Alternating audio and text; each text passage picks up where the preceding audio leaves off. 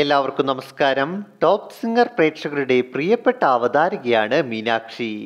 മീനാക്ഷിയുടെ ശരിക്കും പേര് അനുനയ അനൂപ് എന്നാണ്.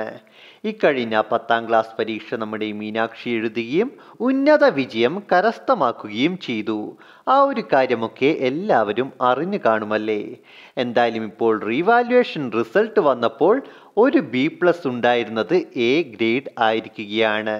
അങ്ങനെ ഒൻപത് എ പ്ലസും ഒരു എ ഗ്രേഡുമായി പത്താം ക്ലാസ് പരീക്ഷയിൽ ഉന്നത വിജയം കരസ്ഥമാക്കിയിരിക്കുകയാണ് മീനാക്ഷി.